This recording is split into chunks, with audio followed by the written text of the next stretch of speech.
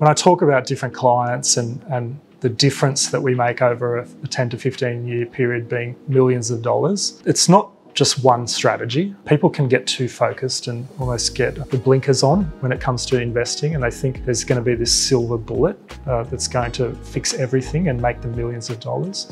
It's not the case. Usually, it's a number of, of different strategies that's going to make that huge difference in, in dollar terms. Some basic strategies that we work through with accumulators who might be around that 40 years old mark. Number one thing is optimizing your super. You'd be amazed at how much of a difference optimizing your super can do over a 10 to 15 year period That alone can add a million dollars depending on your starting balance and your income. Secondly is doing things like using the equity in your home to purchase investment. We really love investment properties for younger clients who have that time period in front of them, can use that leverage. That can add hundreds and hundreds of thousands of dollars over a 10 to 15 year period. Starting to build a share portfolio. The beauty with share portfolios, you can start small, but it starts to snowball over time. Once you get 10, 15 years in, you'd be surprised at how big of a share portfolio you can build. Those are just three really simple strategies that we help with clients. It's definitely not rocket science, but so many people get to retirement and they haven't done all of these simple things. Just goes to show it, it's simple in theory, but just because something's simple in theory doesn't mean it's easy to do. It's actually hard to do. Usually people just get in their own way most of the time. So we help people take action,